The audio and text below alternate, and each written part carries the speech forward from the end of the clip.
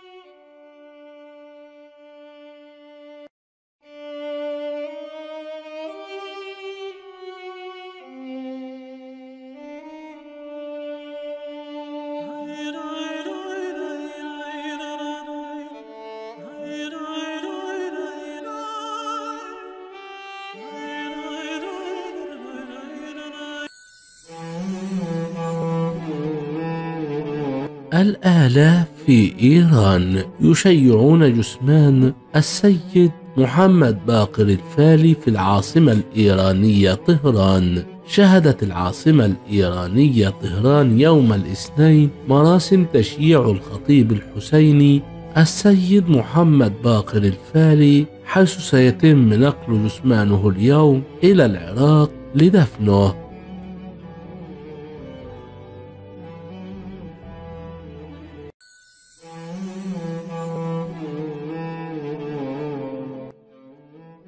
كتبت الصفحة الرسمية للراحل السيد محمد باقر الفالي. إنا لله وإنا إليه راجعون. سيشيع جثمان خادم الإمام الحسين عليه السلام المدافع عن ولاية أهل البيت عليهم السلام العلامة السيد محمد باقر الفالي. حشره الله مع مواليه الطاهرين يوم الثلاثاء 27 جماد الأولى 1445 في الساعة العاشرة والنصف صباحا من مسجد الطوسي إلى حرم أمير المؤمنين صلوات الله عليه. ومن ثم يكون التشييع في كربلاء المقدسة في نفس اليوم الساعة الثانية والنصف عصرا. ويكون التجمع أمام مرقد أبو الفهد الحلي.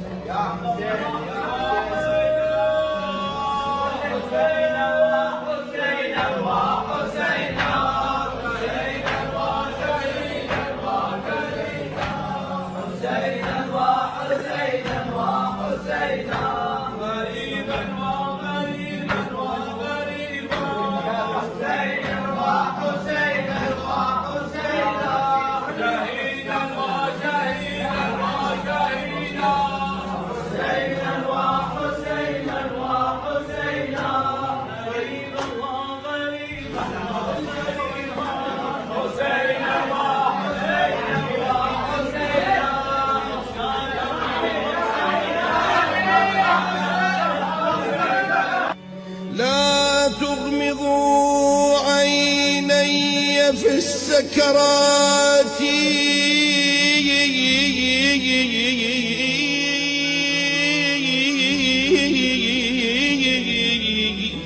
حتى الحسين أراه عندي آتيه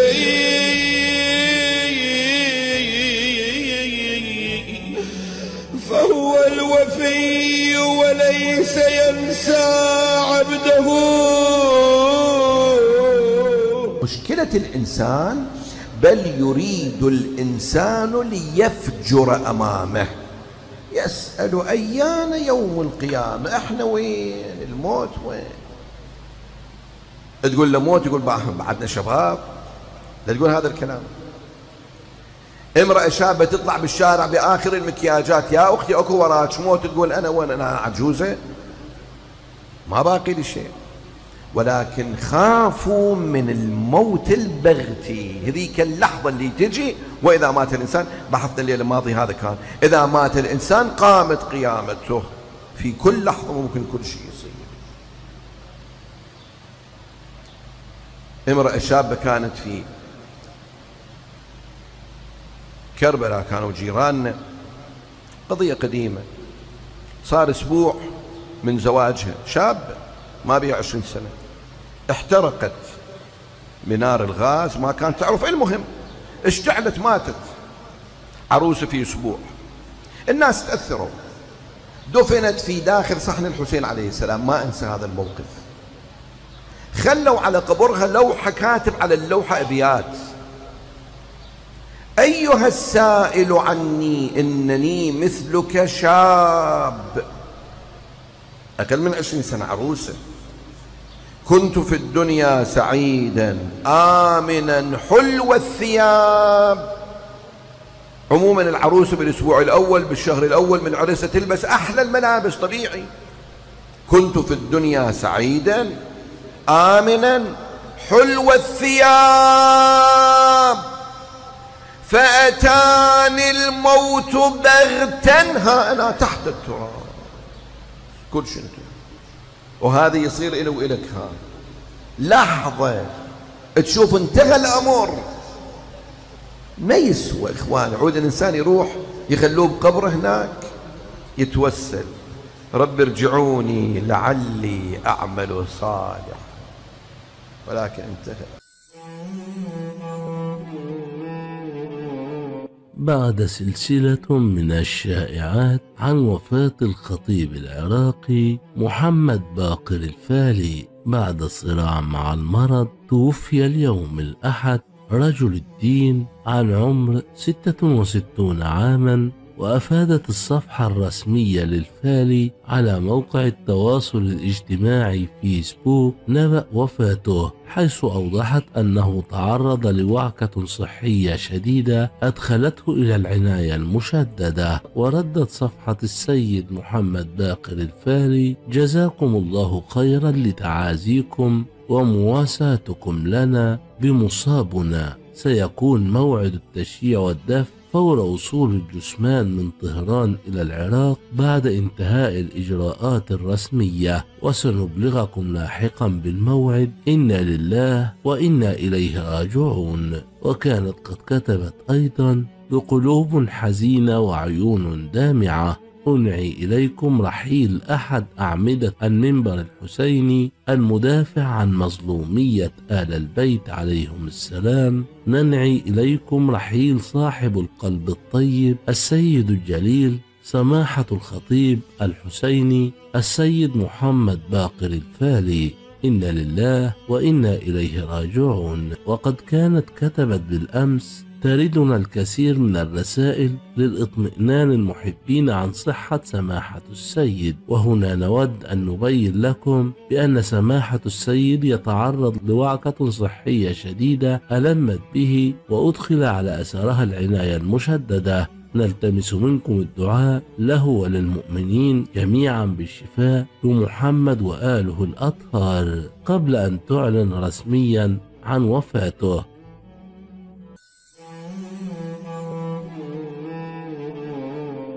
وفاة رجل الدين والخطيب العراقي المعروف محمد باقر الفالي. توفي رجل الدين الشيعي والخطيب العراقي المعروف محمد باقر الفالي فجر اليوم الأحد عن عمر ناهز 66 عاما بعد صراع طويل مع المرض ونشرت صفحة الفال الرسمية على مواقع التواصل الاجتماعي فيسبوك نبأ وفاته بعد تعرضه لوعكة صحية شديدة ألمت به وأدخل على أثرها العناية المشددة. الراحل هو محمد بن باقر بن أحمد بن عبد العزيز الموسوي الفالي ولد في كربلاء وتحديدا محلة المقلع في العباسية عام 1957 ونشأ وترعرع فيها حيث درس الابتدائية المتوسطة والإعدادية ينتسب إلى أسرة الفالي التي سميت بذلك نسبة إلى قرية فال إحدى محافظات إيران. والده أحد رجال الدين في مدينة كربلاء انتقل إلى مدينة قوم في إيران مع والده وأسرته بعد أن تعرض والده لضغوطات عديدة من الحكومات المتعاقبة في العراق فسجن أكثر من مرة في عهد عبد السلام عارف وفي فترة حكم الحزب الشيوعي العراقي ثم نفي إلى إيران في أوائل حكم صدام حسين كما تم إسقاط جنسيته العراقية فعاش بقية عمره في إيران وأكمل محمد باقر الفالي دراسته الثانوية في إيران ثم دخل كلية الحقوق والعلوم السياسية بجامعة طهران. حتى حصل على ليسانس في العلوم السياسية كما حصل على ليسانس في القضاء. ونشرت صفحة الفال الرسمية على موقع التواصل الاجتماعي فيسبوك نبأ وفاته بعد تعرضه لوعكة صحية شديدة ألمت به وأكد مقربون من الفال وبعض أفراد عائلته رحيله عبر مواقع التواصل الاجتماعي. درس في حوزتي النجف الأشرف وقم وتتلمذ على يد جملة من العلماء منهم الشيخ الوحيد الخرساني والسيد صادق الشيرازي كما أنه يحمل الشهادة الأكاديمية في العلوم السياسية والقضاء من جامعة طهران. هاجر إلى إيران واعتلى المنبر الحسيني في محافظات مختلفة ومن ثم في مكة والمدينة وسوريا ولبنان ومسقط والكويت ولندن وغيرها. وكانت قد ظهرت شائعات وفاته قبل رحيله بيومين. ونشر الحساب الرسمي للخطيب الحسيني عبر منصة فيسبوك للتواصل الاجتماعي تحديثا عن الوضع الصحي للسيد الفالي مؤكدا استمرار خضوعه للعلاج الطبي داخل المستشفى حتى الآن نافيا في الوقت نفسه ما تردد عن وفاته. وكانت مواقع التواصل الاجتماعي قد تناقلت سابقا يوم الجمعة تسجيل فيديو عن وفاة الخطيب الحسيني السيد محمد باقر الفالي في أحد مشافي مدينة كربلاء المقدسة بعد تدهور حالته الصحية. كما نفت عائلة الخطيب الحسيني مساء الجمعة الأنباء عن وفاة الفالي وأكدت الصفحة الرسمية على فيسبوك للخطيب الفالي أن الأخير يخضع للعلاج نافية في الوقت نفسه أنباء وفاته. نرجو دعاءكم لسماحة السيد الفالي حاليا فهو يخضع للعلاج ولا صحة لخبر وفاته. جزاكم الله خيرا. توفي الخطيب الحسيني فجر اليوم الأحد بعد صراع شديد مع المرض وذكرت الصفحة الرسمية للسيد محمد الفالي في منشورها بقلوب حزينة وعيون دامعة ننعي إليكم رحيل أحد أعمدة المنبر الحسيني المدافع عن مظلومية آل البيت عليهم السلام صاحب القلب الطيب السيد الجليل سماحة الخطيب الحسيني السيد محمد باقر الفالي. ونفى السيد محمد باقر الفالي نفسه هذه الأخبار وأكد أنه يتمتع بصحة جيدة ويواصل نشاطه الديني. وقال السيد محمد باقر الفالي في تصريح أحبتي أطمئنكم أنني بخير والحمد لله. لقد خرجت من المستشفى منذ أيام وأنا الآن في المنزل وأمارس أنشطتي الدينية بشكل طبيعي. ما تم تداوله عن وفاتي مجرد شائعات لا أساس لها من الصحة. وأضاف السيد محمد باقر الفالي أشكركم على اهتمامكم ودعواتكم وأسأل الله أن يحفظكم جميعا. كما نفت السيدة زينب الفالي زوجة السيد محمد باقر الفالي خبر وفاته وقالت في بيان الحمد لله زوجي بصحة جيدة والحمد لله. وما تم تداوله عن وفاته مجرد شائعات لا أساس لها من الصحة. وتفاعل الكثيرون من العراقيين مع خبر وفاة السيد محمد باقر الفالي وأعربوا عن حزنهم لوفاته. إلى أن السيد محمد باقر الفالي نفسه نفى هذا الخبر وأكد أنه يتمتع بصحة جيدة كما خرج ابنه من قبل والذي أكد أن والده ما زال على قيد الحياة وأنه في حالة صحية حرجة. وقال حسن الفالي أن والده ليس لديه قدرة على التحدث حتى الآن وأنه ما زال في وحدة العناية المركزة.